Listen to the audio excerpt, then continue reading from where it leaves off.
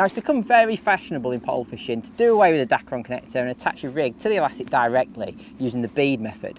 Now for that you need the right bead and we spent 18 months developing the Zipp elastic bead for exactly that purpose. Now these are soft moulded beads that are actually tapered. So at one end you've got a thin end that sits nicely against the PTFE bush, but at the other end you've got a slightly wider opening which allows the knot of the elastic to go inside along with your rig and your, and your line. It's a secure connection too, and when you pull the bead on, actually you can feel it almost clicking into position, so it's never going to slide up the line under pressure.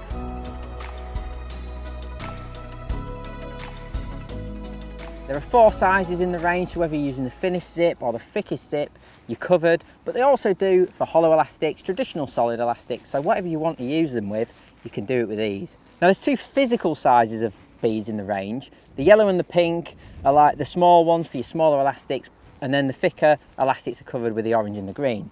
The difference is the bore diameter at the base of the bead to accept the different elastics. So for instance, the yellow has got a tiny little bore opening to allow you to use like a solid five or a four to six Zipp. But the pink one, you could even get a black Zipp through it. I often do that, use a small bead in conjunction with a black Zipp. So you're covered there.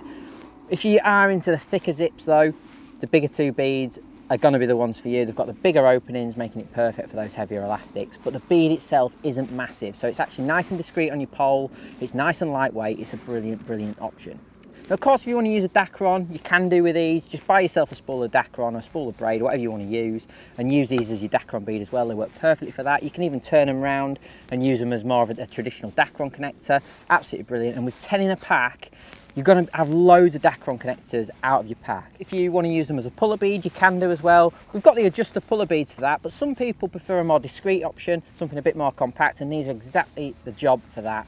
Nice and compact as a puller bead, sit there nice on your uh, side puller bush, very discreet, very compact, and a nice system. And because of that uh, bore size on one end of the bead, you still can trap the elastic in it like you can on the Zipp adjuster beads.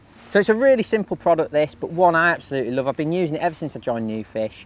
They're just the job, really durable material. You get 10 in a pack, so you get loads to play with. So even if you want to use them top and bottom, you can, and you're still going to cover yourself for five top kits. But even if you only want to use them as connectors, you're getting loads in a pack. So a brilliant, brilliant product from NuFish. Super durable, super strong, won't let you down, designed to last.